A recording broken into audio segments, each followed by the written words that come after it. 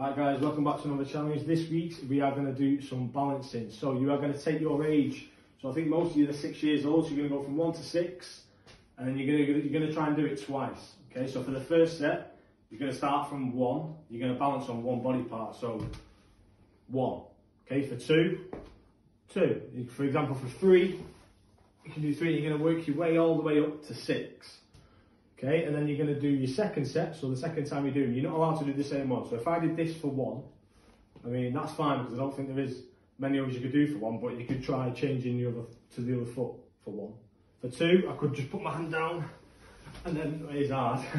so you can, you're not allowed to do the same ones. You've got to try and think of different ones, and if you can to make it harder, try and go above six. Try and do seven, eight. See how far you can get by putting different body parts on the floor and yeah, have fun with it, guys, and I'll see you all next week.